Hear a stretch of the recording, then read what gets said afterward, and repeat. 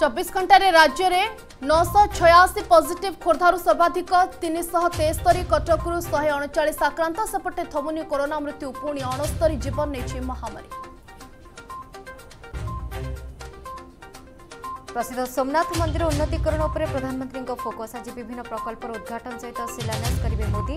ପର୍ଯ୍ୟଟକଙ୍କ ପାଇଁ ଆରମ୍ଭ ହେବ ସମୁଦ୍ର ଦର୍ଶନ ପଦଯାତ୍ରା ଶ୍ରୀ ପାର୍ବତୀ ମନ୍ଦିରରେ ହେବ ଭିତ୍ତିପ୍ରସ୍ତର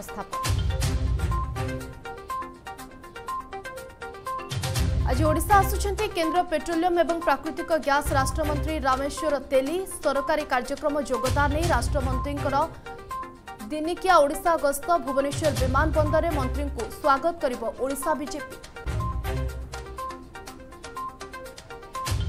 ଶାସକ ଦଳର ଗୁଣ୍ଡାରାଜ ବିଧାୟକଙ୍କ ଉପସ୍ଥିତିରେ ସତ୍ୟବାଦୀ ତହସିଲରେ ଅଳୁଗୁମ୍ ଏଆର୍ଆଇଙ୍କୁ ମାଡ଼। ଥାନାରେ ଏତଲା ଦେଲେ ଏଆର୍ଆଇ ନିକୁଞ୍ଜ ଦାସ ଜାତିଆଣ ଆକ୍ଷେପକୁ ନେଇ ଆକ୍ରମଣ ଅଭିଯୋଗ। କାର୍ଯ୍ୟାନୁଷ୍ଠାନ ଦାବିରେ ଏକାଠି ହେଲେ ଜିଲ୍ଲାର ସମସ୍ତ ଏଆର୍ଆଇ। ଆଜି ଭୁବନେଶ୍ୱର ଆଇଆଇଟି ଯିବେ କେନ୍ଦ୍ର ଶିକ୍ଷାମନ୍ତ୍ରୀ। ଛାତ୍ରାବାସ ଆବାସିକ ହଲ୍ ସହିତ ଲେକ୍ଚର ହଲ୍ କମ୍ପ୍ଲେକ୍ସର ଉଦ୍ଘାଟନ କରିବେ ଧର୍ମେନ୍ଦ୍ର ପ୍ରଧାନ। ଭୁବନେଶ୍ୱର ସ୍କିଲ୍ ଡେଭଲପମେଣ୍ଟ ଇନଷ୍ଟିଚ୍ୟୁଟ୍ର ମଧ୍ୟ କରିବେ ଲୋକାର୍ପଣ। ବିଜେପିର ଜନ ଆଶୀର୍ବାଦ ଯାତ୍ରା ରାୟଗଡ଼ାରେ ପହଞ୍ଚିଲେ ରେଳମନ୍ତ୍ରୀ ଅଶ୍ୱିନୀ ବୈଷ୍ଣବ। ଟ୍ରେନ୍ରେ ଯାତ୍ରା କରି ଯାତ୍ରୀଙ୍କ ସହିତ କଲେ ଆଲୋଚନା। ଦଳୀୟ କର୍ମୀ ଓ ନେତାଙ୍କ ସହ କରିବେ ବୈଠକ।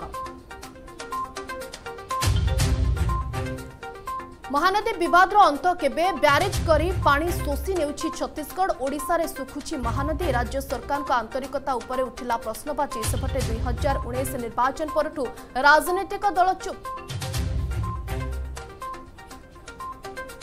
ଏବେ ରାଜଧାନୀର ଚାରି ଯୁବ ଇଞ୍ଜିନିୟରଙ୍କ କମାଲ ପ୍ଲାଷ୍ଟିକ୍ ଆବର୍ଜନାରୁ ଉତ୍ପାଦନ କରୁଛନ୍ତି ଇନ୍ଧନ ତୈଳ ପ୍ଲାଷ୍ଟିକ୍ ପ୍ରଦୂଷଣରୁ ଦେଖାଇଲେ ରୋଜଗାରର ବାଟ ପ୍ରୋତ୍ସାହନ ମିଳିଲେ ହୋଇପାରିବ ବଡ଼ ପ୍ରକଳ୍ପ